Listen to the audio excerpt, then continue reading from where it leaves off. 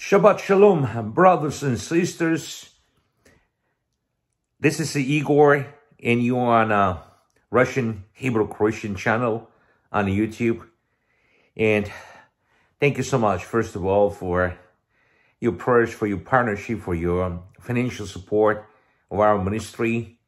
That by God's grace and mercy, we could continue to spread the word of God here in America, in Canada. Even Canada is closed right now, but we'll still have blessings. We'll still be blessed. Continue to share this wonderful news. I'm talking now about our beautiful country, United States. You feel my accent. Maybe you are first time on my channel, but we have a lot of videos in English as well. Even we are Russian speaking people, but we love this country. I love this country where God sent us and bless us that we as a Christians could be salt and light, that people could see Jesus through our life. Especially that I remember my life. I born in Jewish Muslim family, grew as a Muslim myself. I used to live in Israel for a while, but in Canada, God sent some people who witnessed to us about Yeshua, Jesus. And I received my Bible, which I start to read. And God gave me mercy. God blessed me, gave me faith to see myself that I'm a sinner, to see a great need, and that Jesus, in Jesus, and that Jesus is the Lord, who died for my sins as well, and rose from the grave. And I am Christian. And I'm blessed because Jesus is only the way to be saved. And I believe I'm a true Jew. And I believe to be more Jewish, believe in Jesus. Also, if you're Chinese or you Japanese or you're Russian or you whoever you are, only in Christ Jesus, our Lord and Savior, we could become true Jewish people, spiritual Jew, like Abraham. We are his children. The spiritual, we are his children because he was the true Jew. And only in Christ Jesus we could become true Jewish people. But we continue praying for Israel because through Israel, God blessed all of us to be one in Christ. And I believe, yes, we have a great debt just in the name of Jesus toward the people of Israel to pray for them, to share gospel to them first, according Romans 1.16. And it's our privilege to become a part of God's great work on this earth when we could share wonderful news. Do good work in the name of Yeshua. Have a compassion for people because if they die without Christ, they die forever. And the Bible is very clear about this, that we have only one name under heaven through whom we could be saved. And the name is Jesus Christ, our Lord. Brothers and sisters, just a short testimony and you're going to watch this short video. You also could find another video about the work in Orlando. I'm still being in Orlando. We just finished an outreach in uh, Eola Lake, I believe the name of the place in downtown Orlando, and God bless us. But you could watch by yourself what happened. But we also have a, a lot of videos, as I mentioned.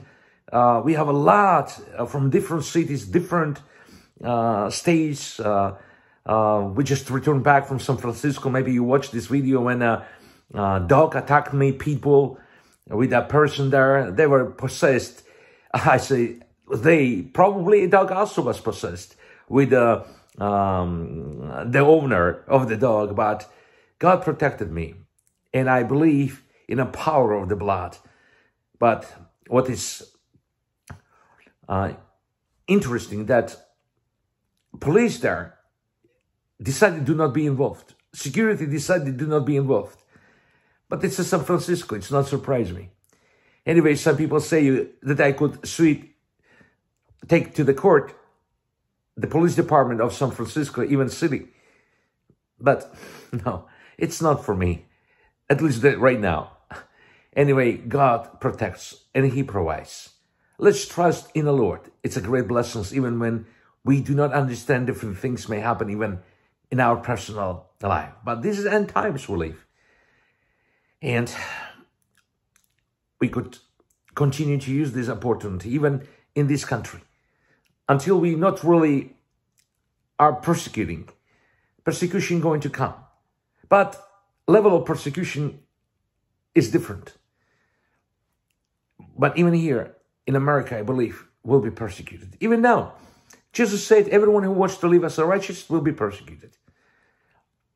Also, I want to encourage you to pray more for America. I love this country. I say this. We pray. We need to pray for president, whoever will be. It's not going to change anything in our faithfulness. Trusting in the Lord and be faithful as a God's servants. And let's remember that this is this world. This, this, these politicians. We should to continue be light and salt as a Christians. Yes, we have our positions, but let's do not forget that this is this world. And our kingdom not on earth. And earth is not our final home. Our kingdom in heaven. And our king is only Lord Yeshua, Jesus Christ. So let's pray for America and do not make America great again, but let's bring America to repent again. To repent again by God's mercy. You know what Bible says about the proudness? God hates proud people. God hates proudness. And the devil, the evil one, he was the first who became proud. And we know what happened. But who is humble? God gives his grace to this person. So let's think more by praying for this nation, for America, praying that America, people, this nation, come and repent. Because unfortunately, spiritual condition in this country, which I love very much, and I know that you love very much, it's just a horrible. But we rejoice even for one soul, because even one soul is important for the Lord. So what happened after when we finished it in uh, Eola Lake, we went to Starbucks coffee shop. I especially go there. You know, they, they support, uh, very supportive of uh, LGBT. And uh, we met three people there, workers, and God blessed. They all accepted New Testament. Praise God. After our testimony. And we especially go there. Some people, even our Slavic people say that they do not go there because they support LGBT. They don't want to spend money there. But I always remind about Jesus. He especially went to the places where need, need, needed uh, to help, to let people know about their sin, uh, that they could repent, that their souls would be saved. Jesus especially went there. Let's do not think that we as a Christians, as a saved people, we are better than others. Absolutely not. If God saved us by his mercy, so we spiritually go to these places and we preach the gospel. We pray for people. And God bless these three people, three persons accepted New Testaments. After that, uh, we went to the uh, Disney Springs here in Orlando. So you're going to watch this uh, very short, please watch one minute plus something, very short video. What happened? We decided to ask first a permission. I mean, like to ask if we allowed to preach the gospel inside. I've been here many, many years ago. I had a vacation with my uh, dear wife.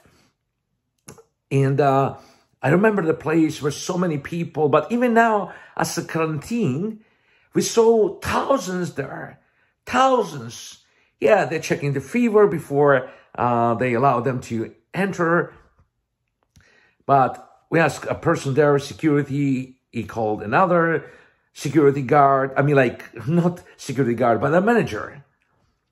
And he came and asked us what we want. I say that we want to preach the gospel. I say, I'm not going to use the amplifier We have a like First Amendment of the Constitution, free speech, and he called. Could you imagine? This person called this as a solicitation. I tried to explain him. I understand The first of all, if the private place, I understand that who owns this, they owns this, they have their own policy. But the issue is that that that that, that this place also public. Even Disney owns. Uh, it's a public because the people, the pedestrians are there. Probably yes, I should get a permission. But the problem became that these men call this as a solicitation, preaching the word, and I try to explain to him that I'm not advertising any businesses. It's not solicitation, it's a sharing word of God. And I mentioned to him that we are recording everything, and I asked him his name because we're going to verify, we're going to check. But the problem, another problem came that he became so angry and he almost ran from us by not saying his name. Is it legal? He, he needed, he, he officially, he was in a uniform. He's official. And he needed to tell us his name. If I'm asking, he need to provide his name. It's what's going here, unfortunately. It's not just because this Florida, Florida, Orlando, even it's like people say, oh, it's a Republican state. Uh, you know, I already mentioned that I don't want to be involved in a, in a politic. People are people unfortunately, when live, they live in sin, when they hate the Lord Jesus Christ, and unfortunately, they hate the Lord Jesus Christ. So America needs to repent.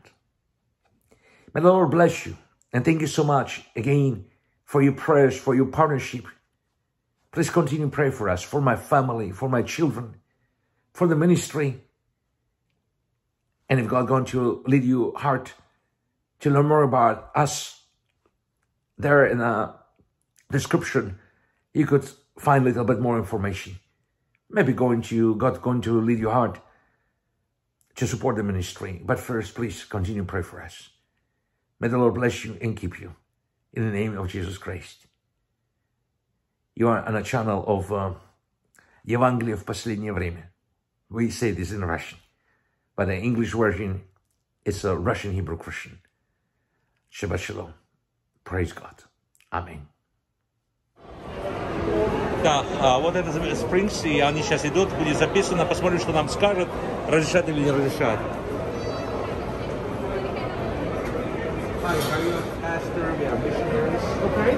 My question is, be allowed, without no mic, no amplifier, to no. use our First Amendment of Constitution nope. supports us? No, no, no. You're not allowed to solicit anything on property. I understand. Could you just give us a reason because it's uh, recording right now officially? Yeah, because so, the policy says no solicitation on Disney uh, property. I understand, but the preaching the, the policy. Yeah, preaching okay. the word is no solicitation. I understand. Still, no solicitation on property. You're not allowed to approach guests or any of that. Okay. Okay. Uh, what is your name, sir? Could you give me your name? Sarah, could you give me your name? Is it possible, Sarah, give me your name? What is your name?